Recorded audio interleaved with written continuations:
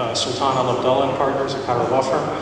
Uh, we're very pleased to be among the sponsors of this event, and I am very pleased to uh, be able to be here with very distinguished colleagues. Um, I can assure you there is uh, no one more appreciative of their audience uh, than the individuals like my colleagues who have spent substantial thought and effort preparing remarks to be delivered at the final session of a two-day conference. So thank you all for honoring us with your presence. I would like to start today with a story about the ancient king Solomon, who I understand uh, is referred to by Muslims as Suleiman. Um, king Solomon is considered one of history's greatest examples of a wise and impartial judge. He was asked to decide a dispute between two women, women claiming to be the mother of a baby. He picked up a sword and said he would divide the baby in half so each claimant could have half. One woman immediately renounced her claim. King Solomon awarded the baby to that woman, knowing a real mother would do anything to avoid harm to her child. King Solomon was a wise man. Uh, we want our judges and arbitrators to be wise. But I suspect that instead of raising his sword, King Solomon would have preferred to be able to refer the matter to an expert, a doctor, for a blood test. Among other reasons, uh, that would have eliminated the risk of an appalling result had it turned out, in fact, that neither of the women were actually the baby's mother. In our modern world, there are lots of ways to bring expert assistance to judges and arbitrators considering complex and difficult disputes. Uh, that is the topic we are here to discuss today. The use of, of experts is common in arbitrations. Um, my firm is currently involved in an arbitration in which expert testimony has been submitted from engineering experts, experts addressing responsibility for delays to construction and costs arising from delay, experts on Qatar law, experts on foreign law, lots and lots of experts. So this is a very appropriate topic for an arbitration conference. Andrew Woodward, to my left, is Regional Director for Qatar and Technical Director of the distinguished construction consultancy firm Quantum Global Solutions. He has extensive experience in the construction industry in Europe, the Middle East, and of course Qatar. He undertakes detailed analyses in the areas of risk, forensic delay, and formulation of claim strategies. He has acted as an expert witness in arbitration, is a qualified arbitrator, and is a fellow of the Chartered Institute of Arbitrators. Andrew will be addressing the use of experts in Middle East arbitrations. However, when we considered this session, we thought it would not do justice to the topic if we limited ourselves to addressing only the use of experts in arbitration. For example, the use of experts is a significant feature of litigation in the Qatar courts. We have asked engineer Mohammed Al-Kawari to address this topic. Mr. Al-Kawari is the Vice President of the Qatar Society of Engineers. He is a mechanical engineer and project uh, engineer with European accreditations. He has held several positions at Qatar Petroleum and has served as Executive Vice President of major projects at Qatar Airways Group. He has served as an arbitrator and court-appointed expert. Not content to rest on his many accomplishments, he is currently studying law at, I believe, Hamad bin Khalifa University Law School. Uh, seated to my right is Jonathan Collier, uh, a partner and head of the Construction Advisory and Disputes Practice in the Qatar office of Pinsent Masons, an international law firm known, among other things, for its expertise in construction disputes. Jonathan has represented clients in adjudications, arbitrations, and court proceedings. He is an expert in all the standard forms of construction contracts. Jonathan also conducts training sessions for his clients on construction law and risk management, he will give a more international look at the use of court-appointed experts and also address the very interesting topic of specialist courts staffed by specialist judges. Unfortunately, Jonathan has some time constraints, and so we're going to put him at the front of the program, um, and he will need to leave after he's given his, um, uh, his comments and will not be able to stay for our question and answer session, but that's all fine. Uh, we are also very pleased to have with us today uh, engineer Tassin Salah. Uh, the founder and CEO of Ola Management Consultants. He also serves as the Director of Engineering and the General Manager of an international consulting firm in Qatar. He holds a Bachelor of Science degree in Civil Engineering and a Master's of Science in Civil Engineering and Project Management, and he has 36 years of experience with construction projects. Mr. Salah is a member of the International Federation of Consulting Engineers, and and is a FIDIC trained, accredited trainer and a member of the International Institute of Arbitrators in the United Kingdom.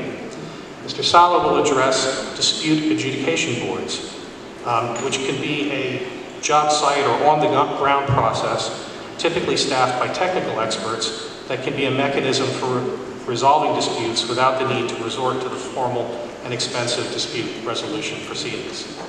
Uh, completing our panel is Dr. Sohair Montasser, Professor of Law at Zagazig University and a practicing Egyptian lawyer. Professor Montasser is the head of the Department of Civil Law and the Faculty of Law and is a former dean of the university.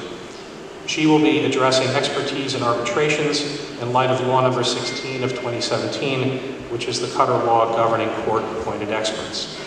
So, as you see, we have assembled our own panel of experts. They will speak about arbitration and they will take us a little, little further away from purely arbitration-related topics to discuss experts and judicial expertise in other contexts. We hope you will find the presentations informative and interesting. It is our intention to have uh, a time for questions at the end, so I would ask you to please hold your questions until the presentations are complete. Uh, with that, I invite Jonathan Collier to the microphone.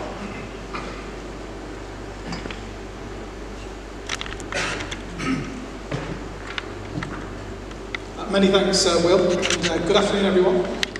Um, so as Will says, I'm going to spend the next uh, 15 minutes or so covering the topic of judicial expertise in international jurisdictions.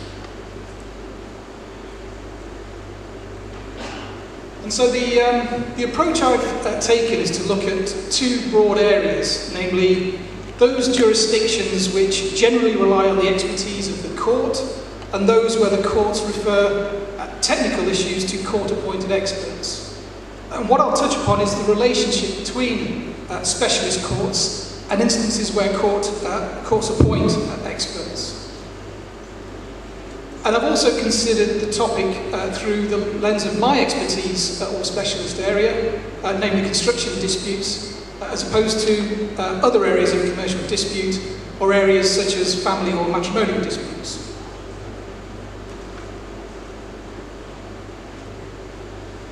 So, as part of the process um, for preparing for this talk, um, I reached out to colleagues in various of our international offices to better understand the approaches that uh, courts take in their respective jurisdictions.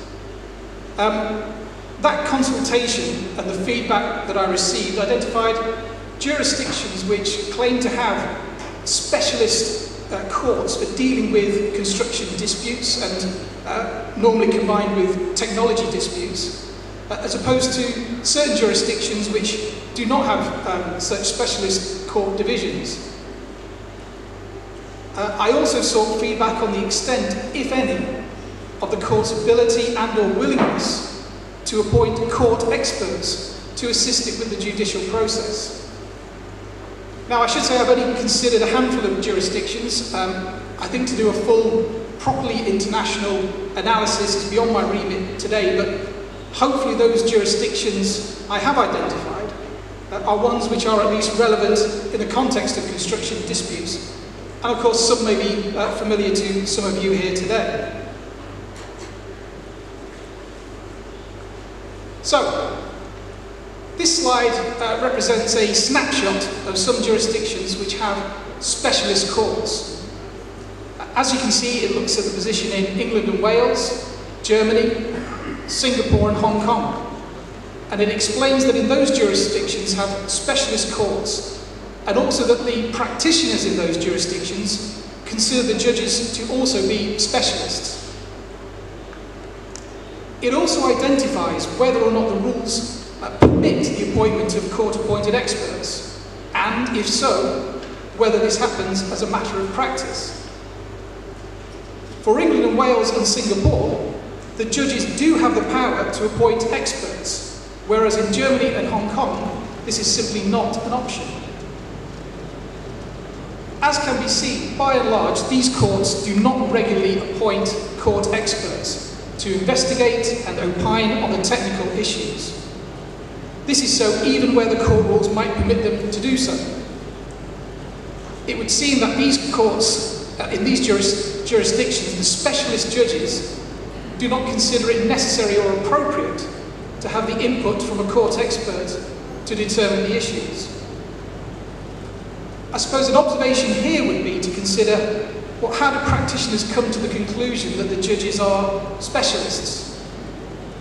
An example, and certainly from my background, is the TCC court in England and Wales.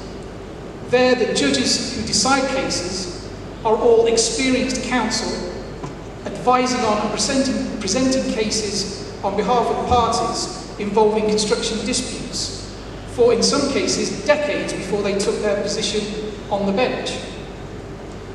And so, by the time they reach the bench, uh, the judges uh, have had considerable experience of the contractual and technical issues that often get raised by parties to construction disputes, and so are considered well equipped to act as specialist judges. And whilst I, I don't have direct experience of the other jurisdictions, uh, it would seem probable to me that the judges there have either taken a similar route to the bench or have attained skills through, for example, academic routes.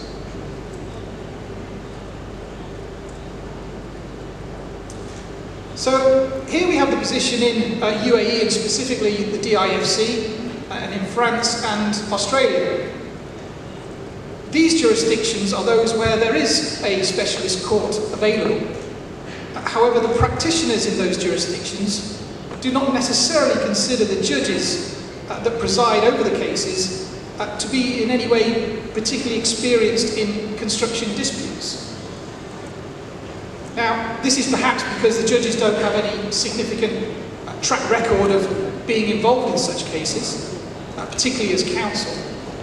Or it could be that the court operates a rotation system uh, within its judiciary, uh, which means that the judges are from a variety of uh, different backgrounds which, from which a selection could be made. It shows a slightly mixed bag as regards the willingness of the courts to appoint the court is ready and willing to appoint court experts to report to it on the technical matters in dispute. Indeed, in France, it is commonly used. And it might be said that the French civil code and its court process is the cradle or source of, of many civil jurisdictions. Now, this slide doesn't include uh, some of our local jurisdictions, but as we'll perhaps hear with the speakers after me, um, Jurisdictions such as Egypt, Jordan, Qatar, UAE, Oman will almost always appoint experts to report to the judges on the technical aspects of the dispute. For Australia, we can see that there is generally no specific specialist division of the court, although in certain states specific lists have been established. Again, we can also see that whilst the judges have the power to appoint court experts, it is seldom used. Now, Australia is a common law jurisdiction, and I'll touch on later uh, the significance of that. I've also mentioned on the slide UAE, specifically DIFC. And of course, it, it has a newly formed technology and construction division. Uh, but at present, there is, as I understand it, only one sitting judge, and he himself does not have a clear track record of being involved in construction cases, whether as judge or as counsel. So, in my mind, it's going to be interesting to see to what extent that division uh, receives claims and how it will develop its practices. Also, as a new division, it remains to be seen whether it will regularly appoint court experts to assist it in cases. There is a possibility that it will follow the, uh, the local process and do so, but equally it may adopt a different approach.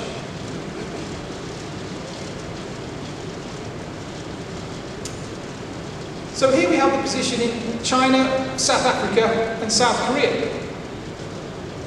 The slide summarises that in these jurisdictions there is no particular specialist court. And the approach they take to the appointment of court experts is fairly mixed. As can be seen in China, the courts do avail themselves of court-appointed experts, but not so in the other jurisdictions, even though the court rules permit the judges to make such appointments.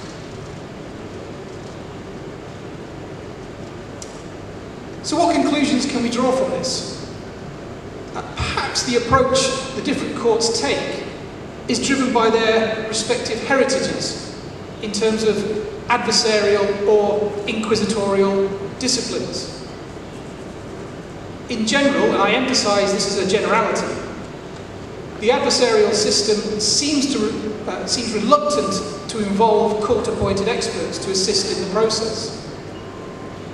Those systems seem far more comfortable with deciding cases based upon the expert evidence that each party deploys and which is then tested through the court process. On the other hand, civil law systems and parties that litigate within them seem more comfortable with the idea that court-appointed experts uh, are capable of reporting fairly on the issues.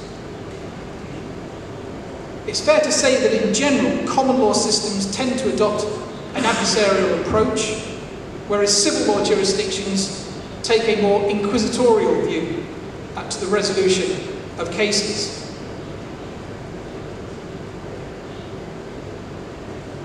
So what are the reasons behind this?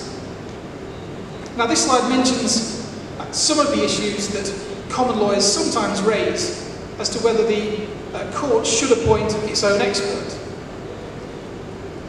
There is a perception amongst common lawyers, rightly or wrongly, that the appointment of a court expert creates more difficulties than it resolves.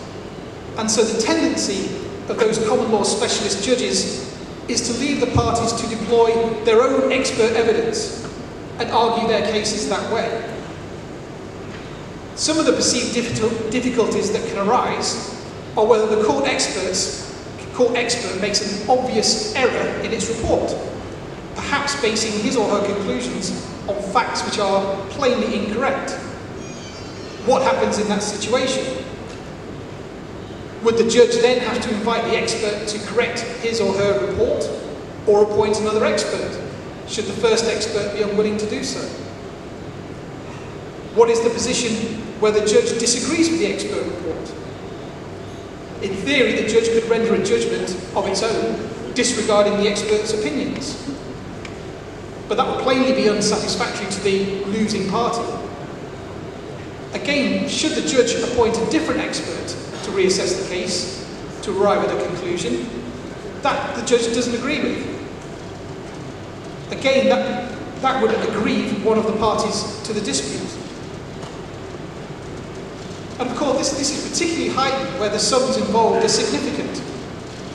Parties and judges that operate in these systems are very slow to entertain the idea that substantial sums are left to a sole or panel of court experts to effectively decide upon the case. There is no obligation on the court to appoint an expert of its own, and the rea reality is the courts generally don't do so.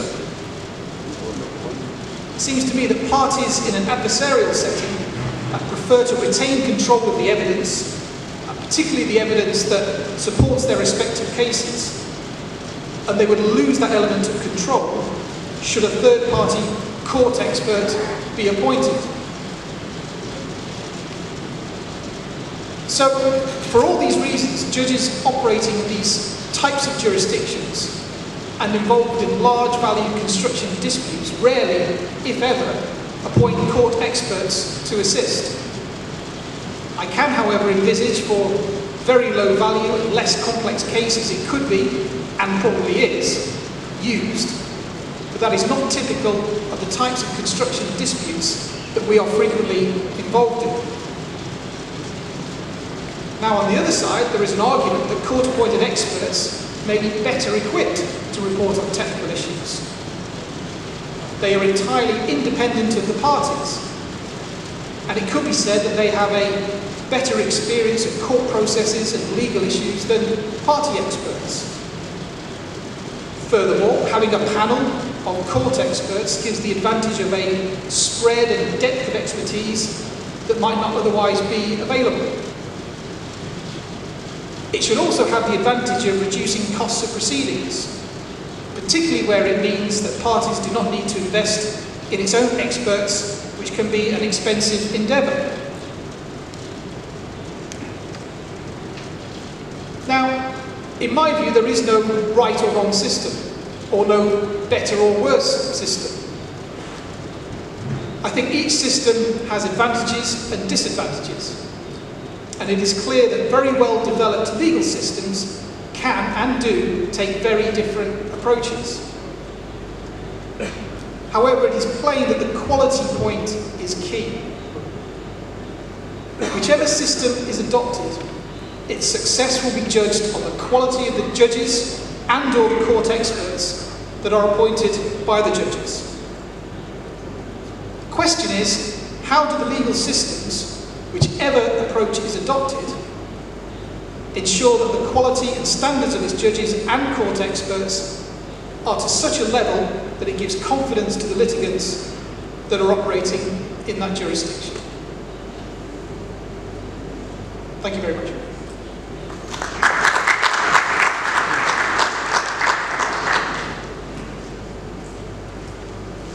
Thank you, Jonathan. Uh, our next speaker will be Andrew Woodward. Come and speak with you today. Uh, I'm going to talk briefly about the use of experts in arbitration procedures uh, within the region. Give you a bit of an expert's view and outline uh, issues around typical expert appointments, sort of common types of appointment within the region and some aspects of expert appointments and some interesting observations observations uh, from recent appointments that you may be interested in. And then I'll close out with a little summary.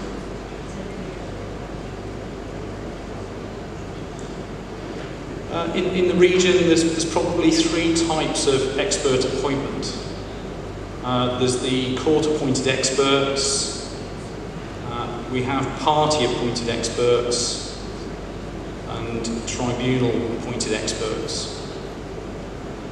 Uh, I will add to that that there is an offshoot, or you can get appointments of uh, experts to do expert determinations. And we talked this morning a bit about sort of DI, DABs and mini arbitrations. Uh, certainly in the region, there is a bit of an appetite in places for expert determinations. Again, that can be a sort of a mini arbitration type process. Uh, the most common type of appointments are party appointed experts. Uh, they frequently specialise in matters of quantum, matters of delay, can also get experts that are, that are appointed in relation to particular technical issues. When, a, when an expert is appointed, his uh, duty is to the tribunal.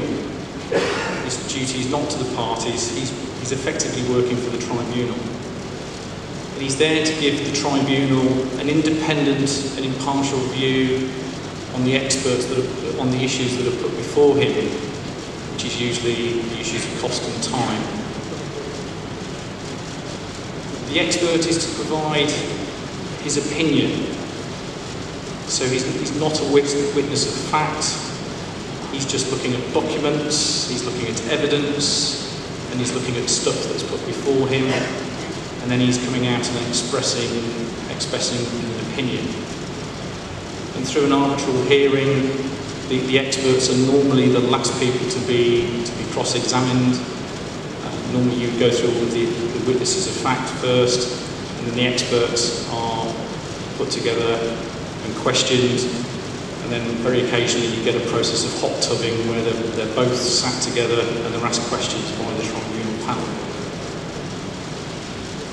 Uh, importantly, the experts will be providing a matrix of opinion that will hopefully tally with what the tribunal's potential uh, decisions are going to be.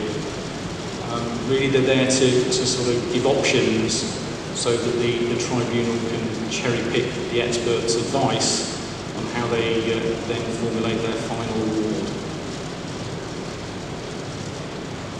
Uh, tribunal appointed experts exist, but they appear to be very rare. Uh, in fact, I haven't across the tribunal appointments at all in the last five to six years. So it does exist, but I've not, not really seen it in the region. Uh, are court-appointed experts different to party-appointed experts? Um, there's some significant differences here uh, with the court-appointed experts. Um, the court-appointed experts obviously operate within the Qatari, uh, Qatari competent court system. Uh, you don't get this type of expert in arbitration. Uh, certainly in, in, the region, in the UAE and, and Qatar, uh, the experts are to be predominantly Qatari nationals and certainly Arabic speaking. Uh, but the fundamental difference really is, is that they're, they're tasked with making some decisions rather than just expressing opinions. So they do have a slightly different approach.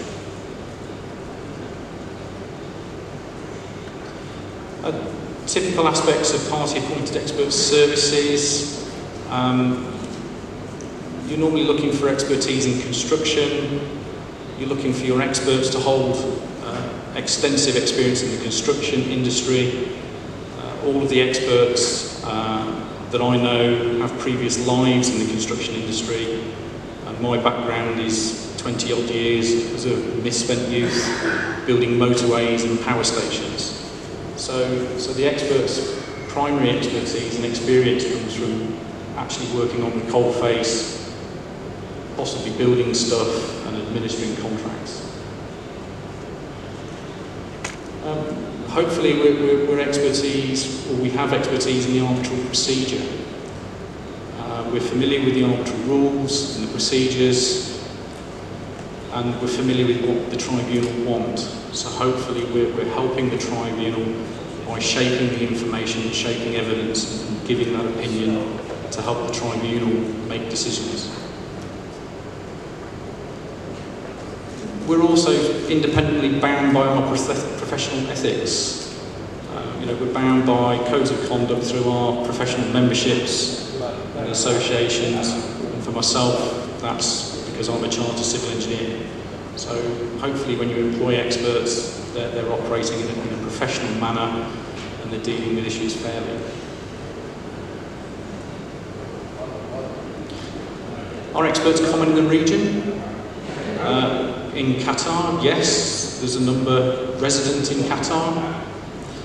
Certainly within the wider GCC, there's a lot of experts that are based in the region, and there's a few familiar faces that I, that I come across.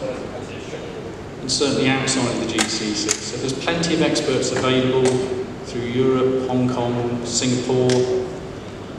Um, we all appear to travel easily, we can get on planes, we can go to places and, and see stuff. Are expert appointments common in the region?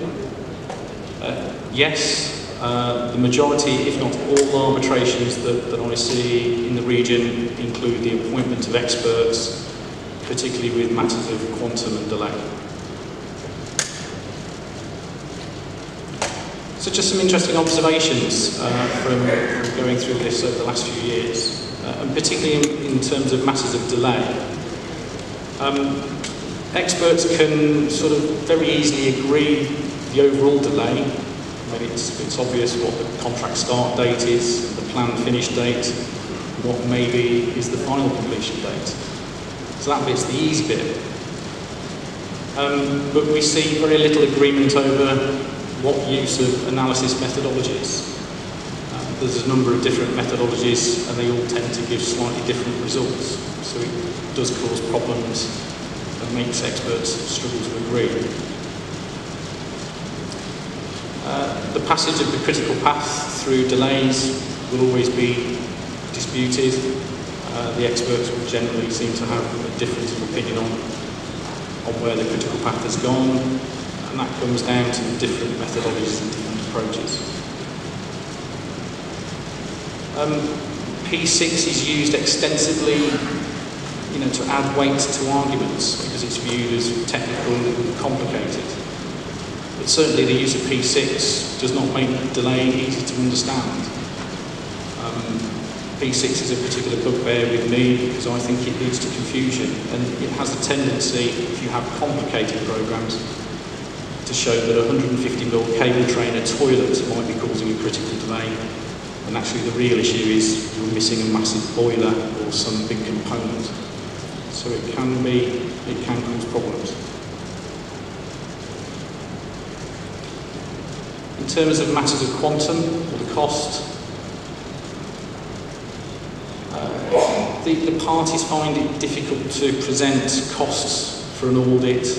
That seems to be difficult to achieve in the run-up to an arbitration, and that can cause some problems for experts in terms of how they verify those costs.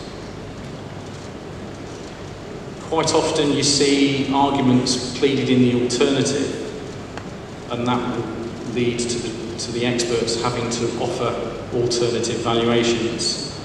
Um, that again can lead to very complicated documents as the experts are trying to identify or to give solutions dependent on particular what-ifs that are being offered to the tribunal. I think the parties struggle with disruption and what could be called disruption costs or losses, or those losses associated with uh, losses of efficiency.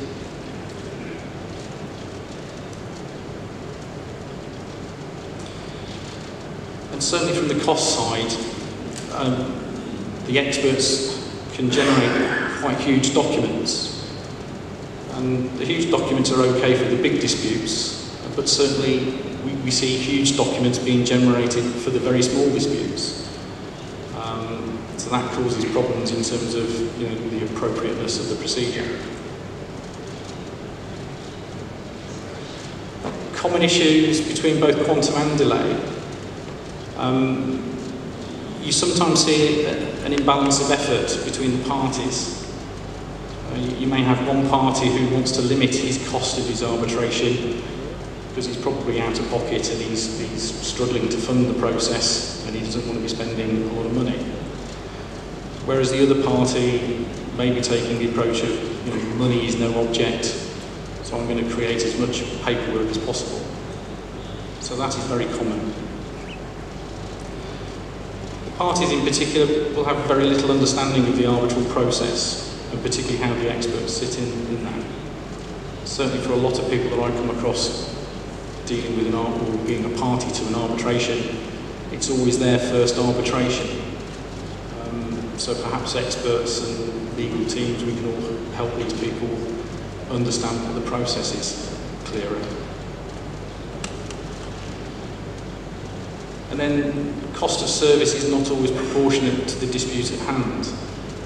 And, and by that I mean that you know, arbitrations can occasionally take on a life of their own and the parties start exchanging huge amounts of documentation.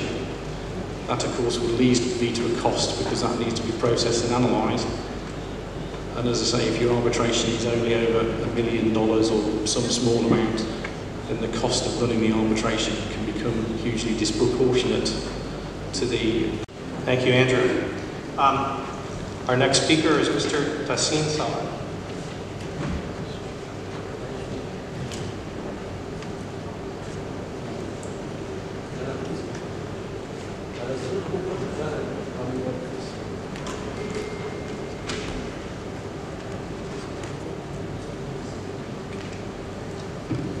السلام عليكم ورحمة الله وبركاته آه، أنا بعرف إنه الجميع يعني الجلسة الأخيرة وعاوز نخلص مش عاوز ننام أنا كمان برضو. السلايدز المحاضرات عندي بالإنجليزي راح أتكلم بالعربي. بس كمان راح يكون في بعض المصطلحات باللغة الإنجليزية. آه، الموضوع حنتكلم هو بيتكلم عن التحكيم بشكل عام بس قبل التحكيم في حاجة في العقود اللي هو مجلس فض النزاعات وهو هلأ صار اسمه الجديد مجلس تجنب وفض النزاعات آه هذا المجلس ليش استحدث؟ متى نستخدمه؟ إحنا الثقافة الوعي تبعنا ما بنعرف عنه كثير، لا يستخدم كثير في دولنا العربية بشكل عام. وقطر بشكل خاص. يمكن يستخدم في مصر في الأردن مستخدم بشكل كبير من البداية.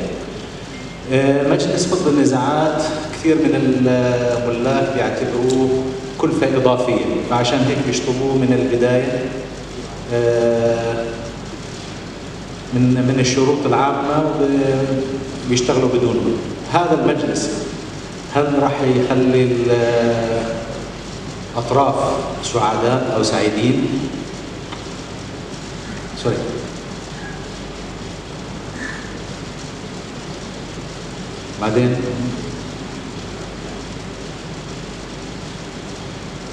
can, you? Good morning, sir. I'm the census taker. Are you married or happy?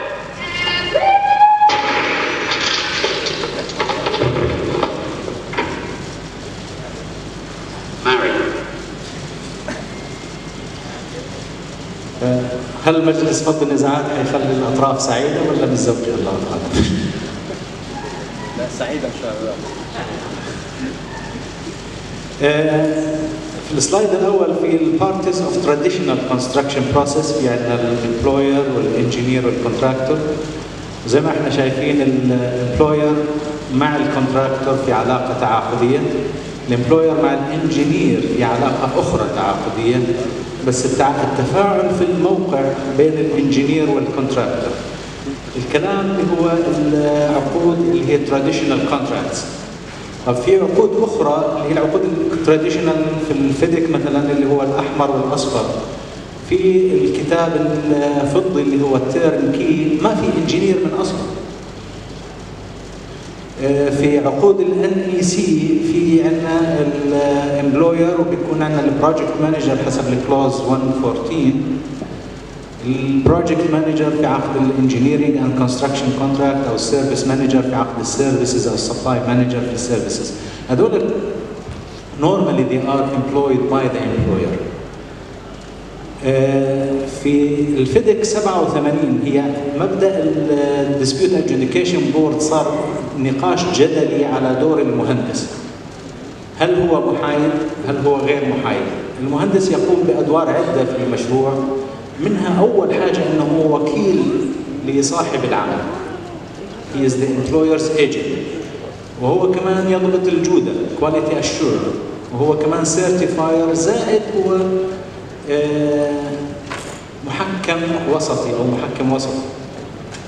هل يقوم هل واحد يأخذ كل أتعابه من صاحب العمل ممكن أن يكون محايد 100% هل ممكن أن يهدد صاحب العمل بأنه أنا راح أخصم عليك إذا أنت مشيت مع المقاول أو أنت لم تعتمد الكلام اللي أنا بحكيه؟ هذا خلى نوع من التفكير لمنع الدور الجدلي اللي مفروض على على المهندس. في المهندس حياديته كانت محك كانت مثار جدل كبير. في سنة الفيدك تبع 87 كلوز 67.1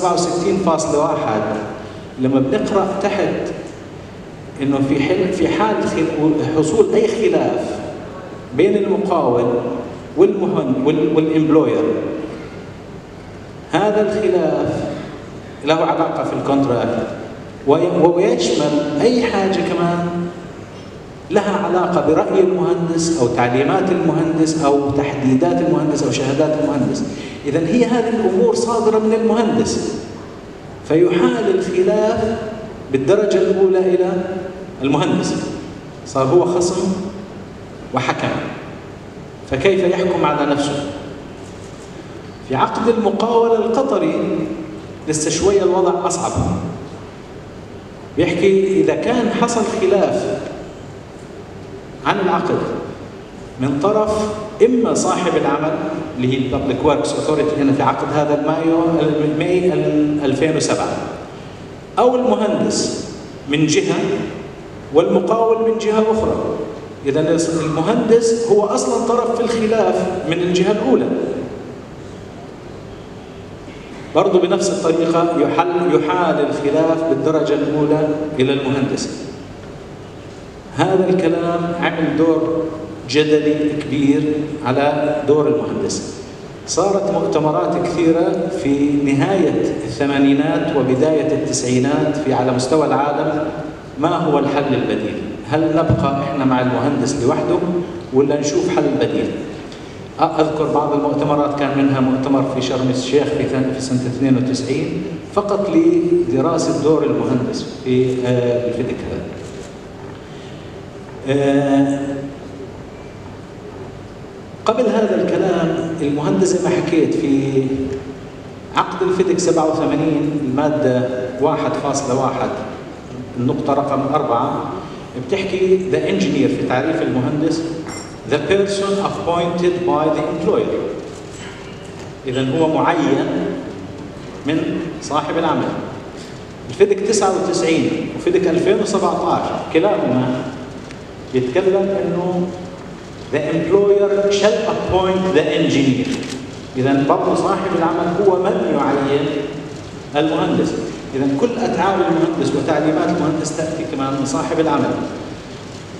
في المادة في 2017 فيدك 2017 فيدك 2017 المادة 3.7 في بدايتها فقط بتحكي لما المهندس يعمل في محاولة حل النزاع بين الطرفين فيفترض أن يشتغل أن يعمل بتعادل.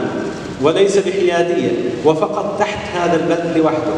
بالإنجليزي says the engineer when acting under this subclause فقط تحت هذا البند shall act neutrally. Neutrally means not مش بالضرورة يكون fair مش بالضرورة كذا. باي ذا واي في عقد الفدك 99 وفي عقد الفدك 2017 كلمة فير اللي هي عملية العدل مش موجودة عندنا غير مرة واحدة فقط في المادة 3.5 أو في المادة 3.7 The engineer shall make a fair determination. هذه كلمة fair this is the only time المرة الوحيدة اللي مذكورة فيها. فإذا إحنا دور المهندس شابه واعتراه نوع من الجدل حول مدى الحيادية. ولهذا السبب كان هناك التوجه ليش نروح لمجلس فض النزاعات. مجلس فض النزاعات أول حاجة شغلة الولاء. هل المهندس يأخذ أتعابه كاملة من صاحب العمل؟ فمجلس فض النزاعات بالدرجة الأولى أن تكون أتعابه موزعة 50 50 مش 49 51 حتى لا يكون اللويالتي تبعت المجلس هذه لطرف دون طرف آخر، لازم أن تكون متساوية. فهذا كان من حيث المبدأ.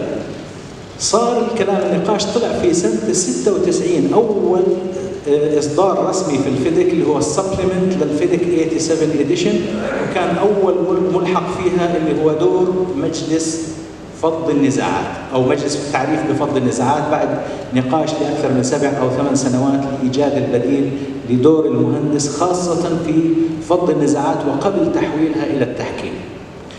هذا المجلس موجود نفس الكونسبت يعني تطبق بعد هيك في أول إصدار في سنة 99 على ال 99 سويت وي اللي هم الكتب الثلاثة الأحمر والأصفر والفضي.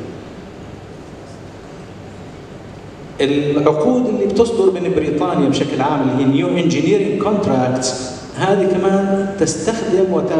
يعني نفس المبدأ في أن يكون هناك م... آه...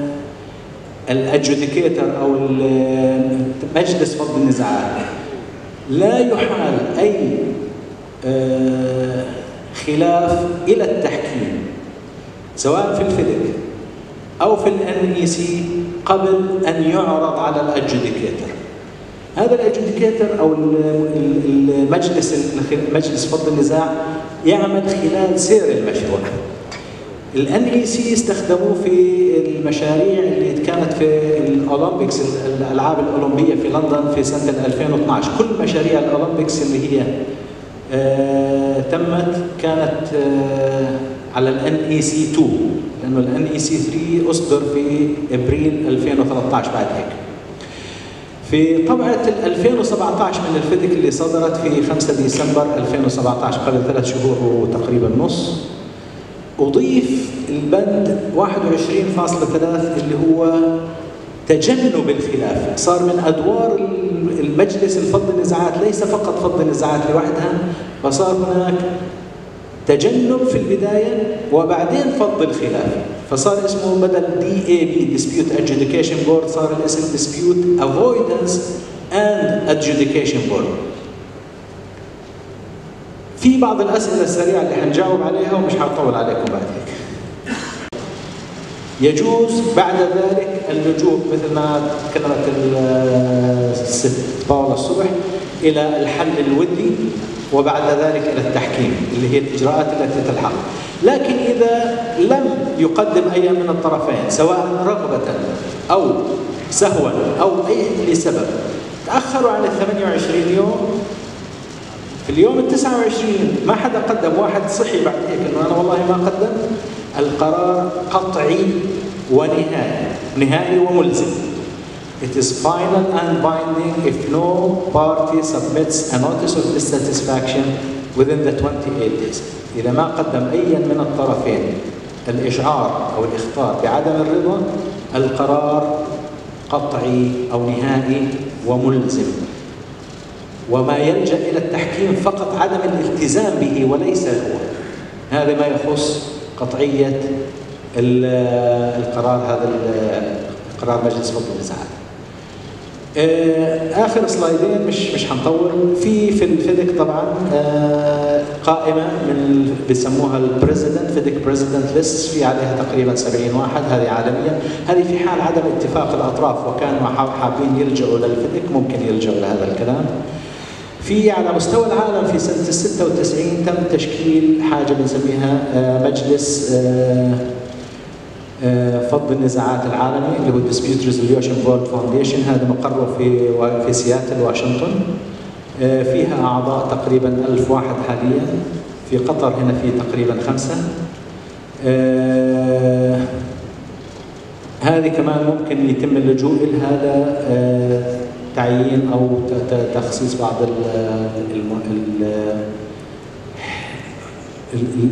أعضاء مجلس فضل النزاعات.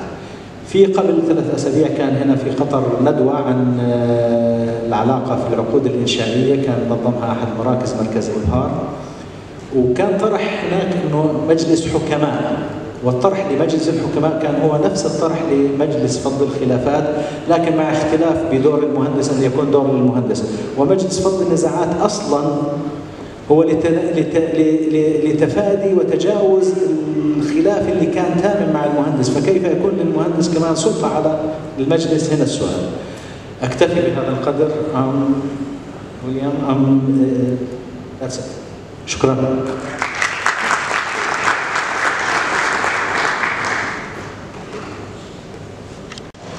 Thank you very much, Professor Montasso. Our final speaker is Engineer Mohammed Al-Kapoor.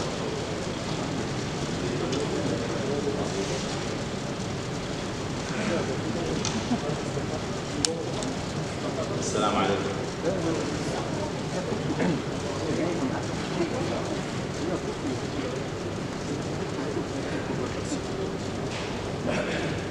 السلام عليكم يعطيكم العافية. معلش إحنا ماخرينكم لا غدا ولا شيء وأنا في موقف لا أحسد عليه. آخر المتحدثين في آخر جلسة في آخر يوم في آخر يوم في المؤتمر. والجمهور بعد ما تغدى.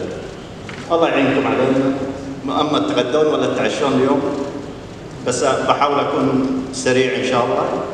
وبحاول إن ألخص الورقة الورقة طويلة جدا بس إحنا بنحاول نلخصها بطريقة معينة تكون مفيدة لكم. هذه لأول مرة تطرح بطريقة معينة. دائما إحنا لما نتكلم عن الخبرة والخبرة بأنواعها وباختلافها هي مختلفة ودائما آخر من يتكلم عن الخبرة هم الخبراء. ودائما الخبراء منبوذين. ومتهمين بطرق مختلفة من تأخير من عدم جودة في العمل من أمور مختلفة. الحين خليني أخلص لكم الرسميات وبنبتدي بسرعة. بنعرض لكم المشاكل. أهم المشاكل مش من ناحية قانونية. أنا كمهندس بطرح لك من ناحية الخبير. لازم تطالعها من ناحية الخبير. تطالع مشاكل الخبير قبل ما تتهمه في بعض الخبراء نعم أتفق معك بس قبل ما نعمم المسألة مطلوب منا إن نضع النقاط على الحروف. المخالف خالفه ما في مشكلة. لكن لا تحمله خطأ المنظومة أو خطأ النظام ككل. خليني أستضيف الرسميات أول شيء.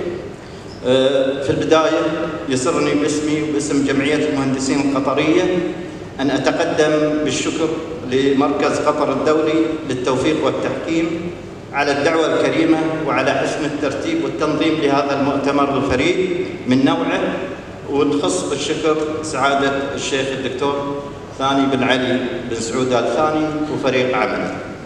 طبعا موضوع ورقتنا اللي تم تقديمها للمؤتمر هي أعمال الخبرة ما لها وما عليها. إحنا ارتئينا إن نكتب بحيادية عن الخبرة من غير ما إحنا ناخذ أي اتجاه. والحكم لكم في النهاية. أعمال الخبرة القضائية في دولة قطر لم تكن وحتى وقت قريب مقننة بالشكل المطلوب بل كانت ارتجالية وغير منظمة.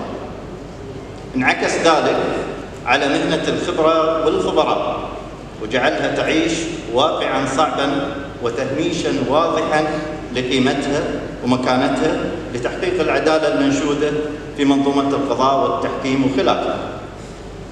تسبب قيام ما للخبير الممارس من حقوق وما عليه من التزامات إلى اختلاط الغث بالسمين والصالح بالطالح ودخل على المهنة من غير أهلها أو حتى غير المؤهلين لها مما حدا بالبعض وهي المشكلة اللي عندنا الحين في محاولته التعميم دون وجه حق للزج وتعميم أعمال الخبرة والخبراء عيوب ونواقص ومشاكل النظام القضائي ككل. طبعا السادة الاكارم هم واستاذتنا الدكتورة تعرضت للخبرة في التحكيم بس أنا بتعرض لها من الناحية القضائية اللي هو اسوء الاحتمالات. المطلوب إيش؟ عندنا إحنا مشكلة عندنا اتهامات وموجود في معوقات إحنا لازم نفهمها المطلوب هنا هو تشخيص الوضع الحالي للخبرة والخبراء من منظور الخبراء أنفسهم هذه أهم حاجة الاستماع لهم تمثيلهم التمثيل الصحيح وبالتالي إحنا نحكم على الخبير هل هو المفتري أم هو المفترى عليه؟ على بلاطة مثل ما وهو سبب المشكلة ولا المشكلة ولا الاثنين بعد؟ إحنا ما ندري. إحنا بنترك لكم الحكم في نهاية هذه المحاضرة. إحنا لنا وقفة سريعة ونظرة لبعض المشاكل العملية والمعوقات والعراقيل التي تواجه أعمال الخبرة. سنطرحها تباعا وتلخيصا وسريعا على أساس نروح نتقدم ومن ثم بننتهي إلى توصيات ومقترحات. كيف نطور المهنة؟ لأن المهنة هاي مهمة. لتكون رافدا للعدالة الناجزة. طبعا أنا ضيقها من الأستاذ سلطان عبد. وطريقا للبحث والدراسة والتطوير لهذا المجال المهم الذي يتعرض نتعرض له لأول مرة من ناحية الخبراء أنفسهم هذه قريبة من ناحية الخبراء أنفسهم إن شاء الله بس إحنا نشوف القوانين المنظمة لإعمال الخبره في دولة قطر وأنا حابكم تركزون على القانون رقم 16 لسنه 2017 والصادر بتاريخ 12 9 2017 والخاص بتنظيم أعمال الخبره. إحنا لقيناها فرصة إن القانون تنظيم أعمال الخبره لسه صادر صدر بتاريخ 12 9 2017 وبنتعرض له وبنتعرض من ناحية نظر الخبراء. والله يعين مستشارين الوزير موجود.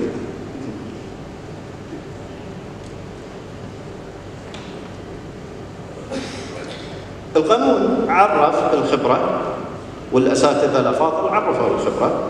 هو عمل فني يمارسه الخبير. يعني هي ممارسة. وركز على كلمة ممارسة. وهذه مهمة.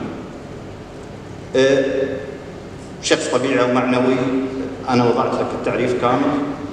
بناء على حكم أو أمر من إحدى الجهات القضائية أو بناء على طلب من الجهات الأخرى مثل ما ذكرت الأستاذة ممكن هيئة التحكيم تعين خبير. عادي. وفي نوعين من الخبراء. خبراء الجدول وخبراء الإدارة وإن كان لنا نظر في خبراء الإدارة. أه لأول مرة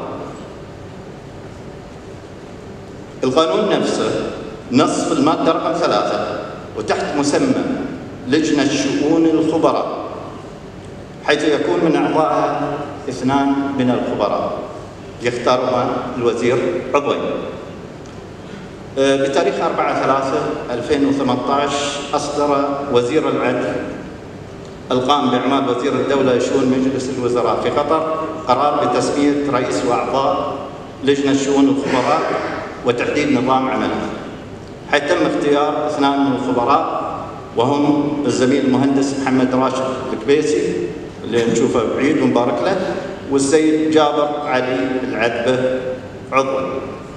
اذا تم التمثيل الحين.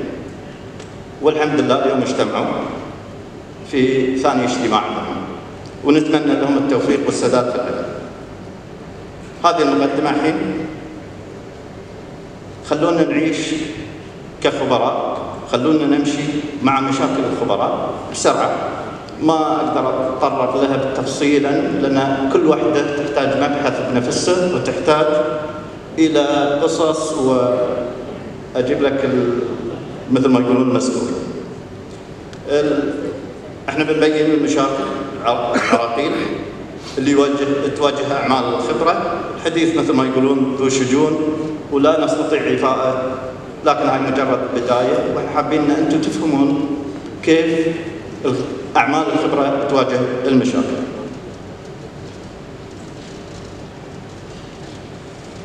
أنا سردتم لك أول مشكلة تواجه الخبير حلف اليمين. القانون رقم 16 سنة 2017 الخاص بتنظيم أعمال الخبرة اللي ذكرناه لم يعالج مسألة حلف اليمين.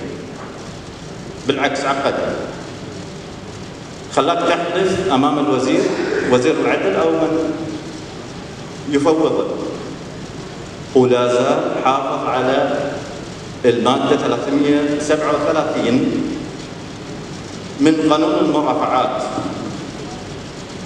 يعني صراحة لا زال الخبراء يحلفون أمام كل محكمة أو نيابة لكل قضية وهي غير عمل وفي مشقة، أنت عندك خبراء جدول، عندك خبراء إدارة بتحلفه في كل قضية في كل مرة في كل وقت. حتى أنا ساعات أقول لهم احس ان أنا كذاب من كثر ما ثاني نقطة مذكورة هي حقوق الخبير. القانون نفسه تعرض لالتزامات الخبير في المادة 17 منه. إلا أن المستغرب لم يتعرض من قريب أو من بعيد لحقوق الخبير. بتقول لي إيش حقوق الخبير؟ سهلة وفي عجالة كثير ما يتم افتعال الخصومة مع الخبير محاولة البعض رفع الشكاوى تشهير تنكيل بالخبير في أماكن مختلفة ملاحقاته بل وحتى خلال نظر القضية أمام محكمة الموضوع عارف إيش الهدف من هذا؟ تشويش على الخبير التأثير عليه ترهيبه الإجحاف في حقه دون وجه حق ظلما وعدوانا هو عارف أنه خسران قضيه إحنا نرى طبعا نخلص في في التوصيات إن يجب عمل اتزان بين حقوق والتزامات الخبير والنص عليها صراحة حفظا لحقوق كافة الأطراف. التأخير في استلام الأوراق أو تسليمها لعدالة المحكمة. تستغرب. انت بعد ما تحلف اليمين ما تستلم الأوراق القضية. كثير من الأحيان تم تصحيح شكل الدعوة. لم يخبر الخبير بها ما عنده خبر. أو أنها مقدمة لكنها غير صحيحة. الخبير تحصله يلف سبع لفات مو بعارف مع من يتواصل. آه، انعدام استخدام التكنولوجيا الحديثة. يعني ما لازلنا عايشين في العصور حتى قبل الجاهلية. عندنا عدم تعاون بعض الجهات مع الخبير. أنت تتصادف إن لما تروح لبعض الجهات وهي المختصة تطلب الاطلاع على المستندات أو الملفات عندك الحكم عندك محضر حلف اليمين الحكم نص على هذا. تصادفك عراقيل مع أن نص المادة 347 واضح.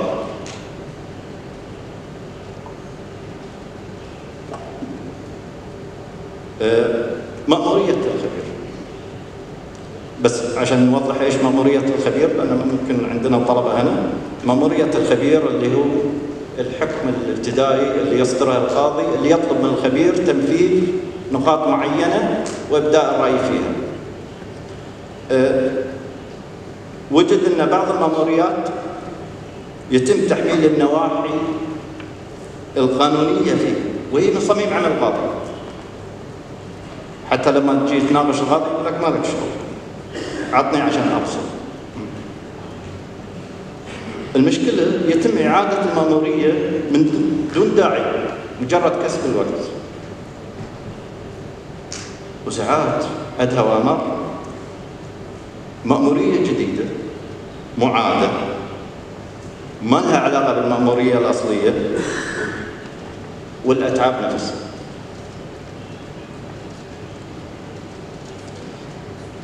هاي وصلنا إلى كلمة أتعاب الخبير ومصروفاته وعدم تناسبها مع حجم العمل والجهد المبذول.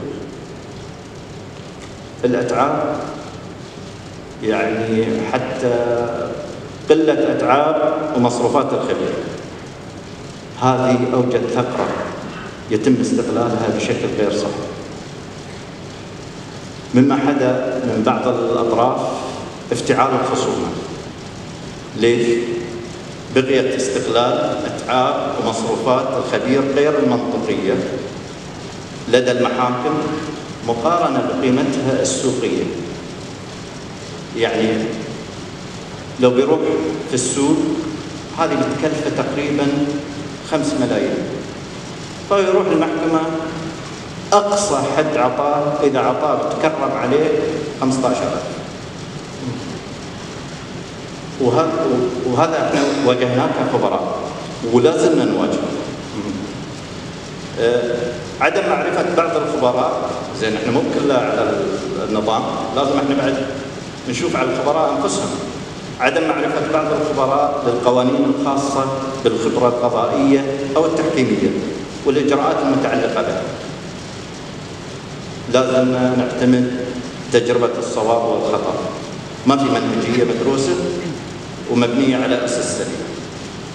أه، وهذا واقع موجود في كل مكان قلة عدد الخبراء المشتغلين. مع المشاكل هذه الخبراء يقل عددهم في نقطة مهمة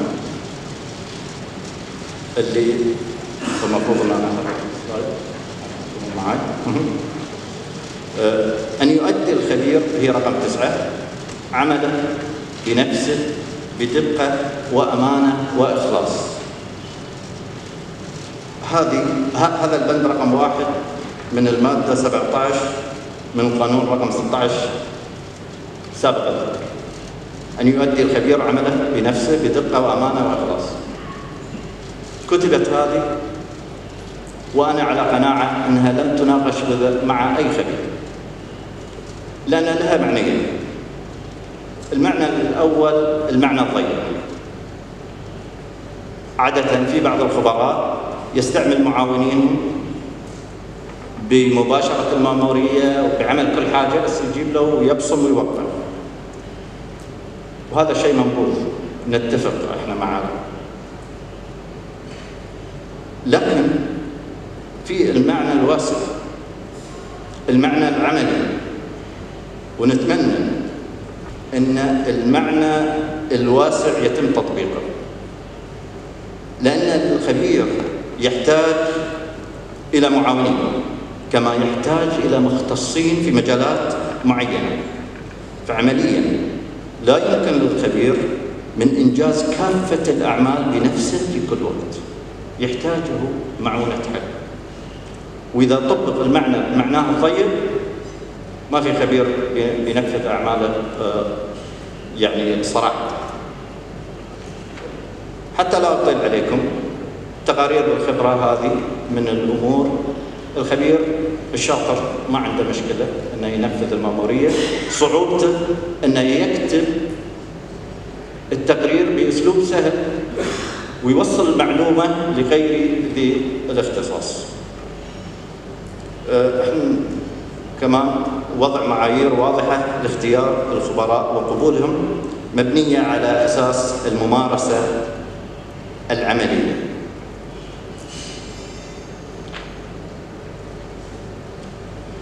خبراء